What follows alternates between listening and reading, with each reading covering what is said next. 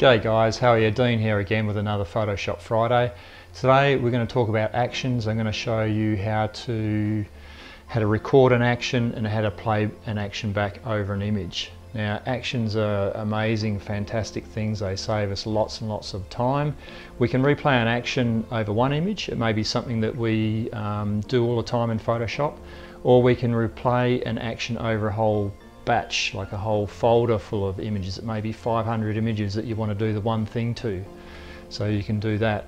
Now, actions can get a little bit tricky. So today I'm going to keep it really simple. This is purely um, to show you how to record an action and how to play it back over an, over an image. Now I'll probably do a more advanced one getting into the more tricky stuff. I'll talk a little bit about it as we're doing it, telling you what you can and what you can't do. Um, but basically today I just want to keep it fairly simple and just show you guys, for the people that don't know how to, how to use an action, how to set it up and use it. Um, and then for you guys that do use actions and know how to use them, then I'll do another video for you lot, just the more advanced stuff and a little tricky stuff that you can get into that you may not know about. Okay, Photoshop's fired up, let's get stuck into it and let me show you guys how to record an action. The first thing you're going to need is your actions window or palette open. Okay, so if that's not open, just come up here in the um, top toolbar to window and just select it there and that will open this window up for you. Now I'll give you a walkthrough with this palette. So down the bottom here we've got some controls. So this one here is our play button, so that's the one we hit to play an action. This is a um, recording light, so when we're recording an action, this one goes red to tell us that we're recording. And then this one here is our stop button for when we are recording. We've also got a new set here, so if we want to create a new set of actions, we would select this one here, and this uh, little icon here, we click that to create a new action. We also have a flyout menu here with some more commands in here. Now each one of these is what they call a set of actions. I like to think of them as folders. If you guys just think of them as a folder, they're a great way of organizing your actions. So you can see I have some uh, here I've got Dean's actions. These are just most of my normal editing actions and then I've got some more specific ones. So for instance for Instagram I have a couple of um, actions. One here to set up to run over a landscape uh, shaped image or a vertical image. So when you make an action you can select a folder or a set to place it into and this keeps them nice and organized Okay, so let me make a new set and a new action. I'll show you how that all works. So down here on our controls down here, we can either select this one here to create a new set, or it's also available up here in the flyout menu, new set there. Okay, so let's just create that and I'm going to call it just test actions. Now I'm going to make that vignette action that I showed you the other week. Now when we make that particular one, I need to make a selection before I start recording the action. And this is where you need to have a think about your actions before you start recording them. So this particular one I'm going to record, I need to make a step first before I start recording because I don't want this step as part of the action. So I'm just making a selection here and once I've got that made, I can now start recording my action. So I'll hit this one here, create new action. Uh, I can rename that, so let's call it vignette, and I'm going to put it into this set here. So that's where we would select the folder or set that we want to put it into. Now this is a really nice function here too. We can actually assign a function key to be able to run this action. So let's assign that to F1 because I know I don't have anything assigned to F1 at the moment. Now, as soon as I hit this record button, we're going to start recording all of the steps that I'm going to um, place into this action. And this little red light down here will come up telling us that we are recording. So I hit record. Don't need to know that. That's just come up because I have a selection made. So you can see the red light is on here, so we are recording. So now I just need to go through and record the steps that I need to make for this action. So I'll just go through and do that. If you want to know how to do this, go and watch my um, my tutorial on how to make a vignette.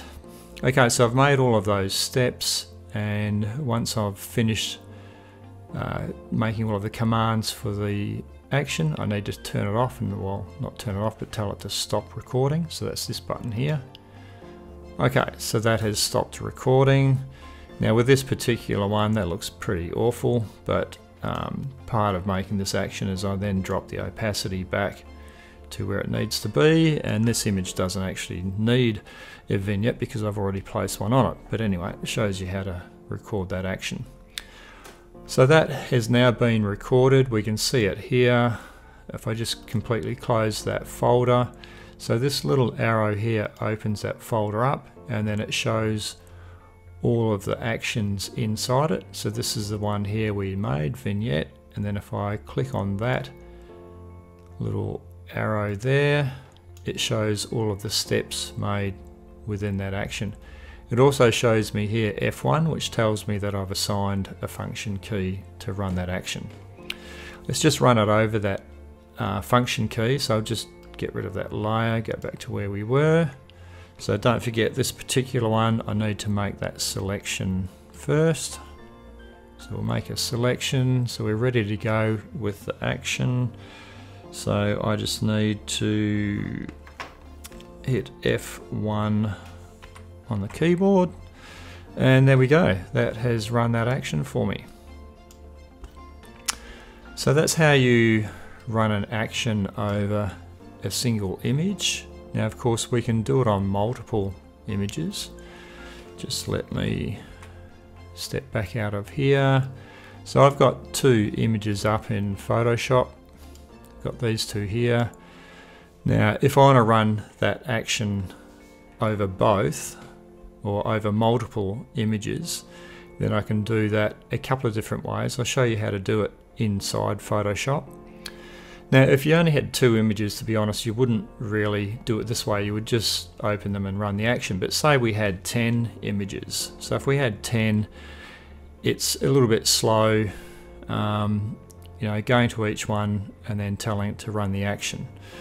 So I'll run it over these two. So we come file automate batch. Okay, and I'll bring up this batch window here. Now I don't want to run this vignette action because I've got to make a um, selection for that. So just say I'm putting these ones on Instagram.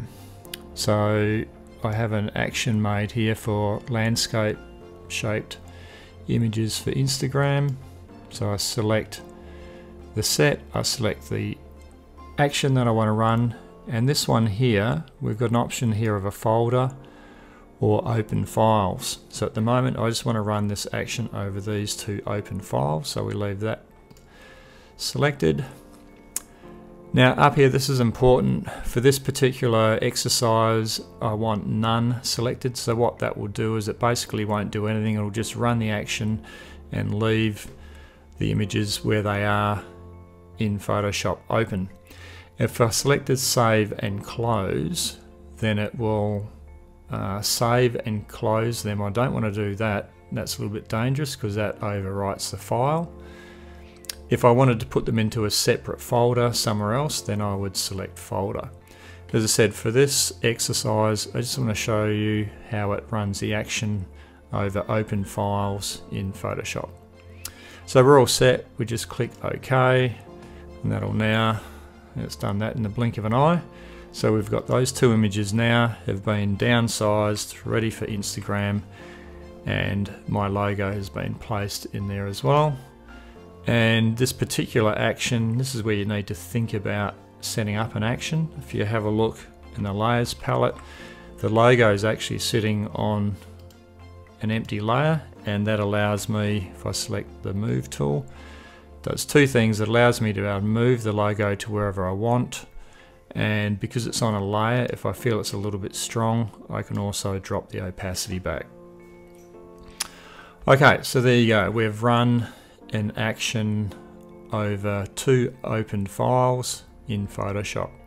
Now, the next thing I want to show you is how to run an action over multiple images without having to open them in Photoshop. So we do this from Bridge. This is a great, um, it's a great tool for having, for just running an action over multiple images. You can select them in a folder and you don't have to actually have them open in Photoshop.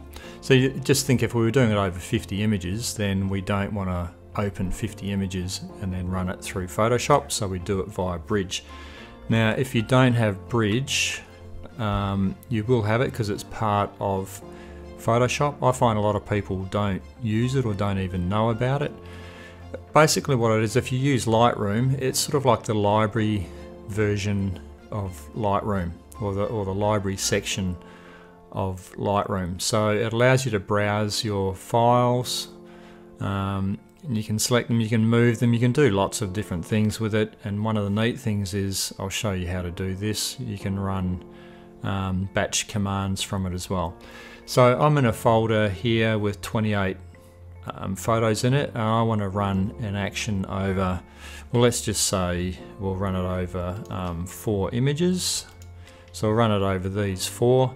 So what I do is I select the four images and then I go up here to Tools and I come down to Photoshop and Batch. So we're basically now back in that same spot where we were um, back in Photoshop. So it's, it's opened the same one up. So we select our set and our action here that we want to run. Now here we want to select bridge. So your option is bridge or a folder. If you select folder, it's going to run the action over every image in a folder, which is great, but sometimes you don't want to run a whole folder. You only want to select a few. So we'll leave that as bridge. And then here again, I want to go none. So what this will do is it will open these into Photoshop for me. So for this particular exercise, I'll do that so you can see that it has opened it and run the image. But you have the option of placing them. You can save and close, which will overwrite the files, or you could select a folder and put them into somewhere else. So that basically makes a copy of it and places it into a new new spot. So let's leave none, so that's going to open them in Photoshop. Let's run that. So it'll open these four and then just run that action and leave them open in Photoshop for me. These are pretty big TIFF layered files too, so that's taken a few seconds to do each one, but you can see how quick that is. So I've now got those four images there in Photoshop and they've all had that action run over them. So there you go guys, that's how you record an action, how you play it back over a single image or over a folder of images. Hope you enjoyed that, thanks for watching, uh, catch you in the next one, stay safe, ciao.